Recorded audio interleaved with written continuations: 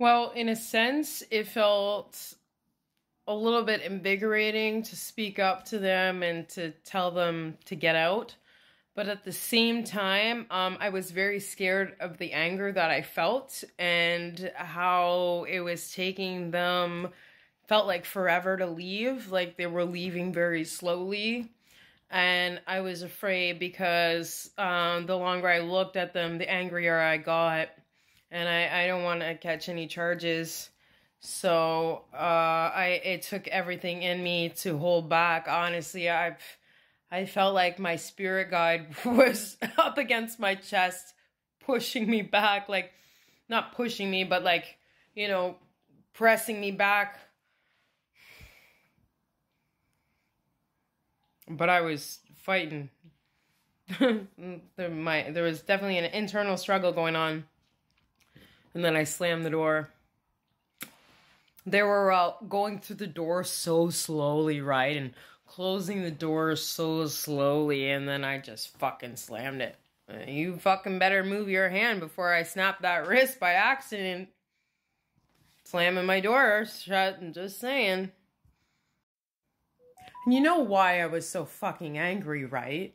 Because they should have been here about my teenage daughter that's in the psych ward right now.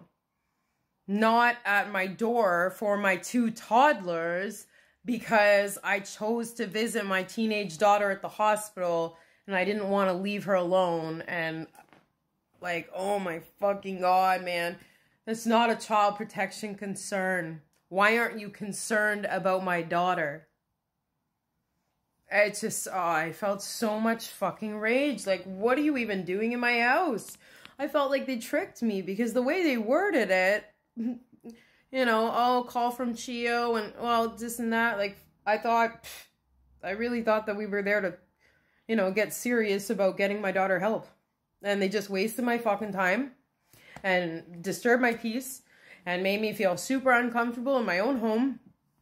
And now I want to move because I don't want these bastards to know where I live at any point in time. So now I'm looking for another place. I mean, I need a bigger place anyways, especially if Ali is going to be coming home. I was talking to CHEO today. Um, it's looking good that she uh, is going to be coming here when she gets out of the hospital. So, fingers crossed. I'm praying that Ali has the courage to tell the truth about everything that's been going on at her aunt's. Um, so we can get her the help that she needs and, and so she can be here with us. And then next is Mackenzie, but that'll all be in the court order. I'm not leaving Mackenzie out. Of course, you know, it'll be her decision because uh, she'll be 12 uh, soon. So, um, you know, we're still going to obviously put her on the court application, though. We don't want her to feel, like, left behind, you know. I mean, seriously, I don't know how, as child protection workers or parents, they don't understand that. Like my daughter, my 14 year old daughter is begging me not to leave the hospital. You know, th that, like, I don't know what they expect of me, but that's uh, quite the position uh, for me to be in. and, you know, oh my God.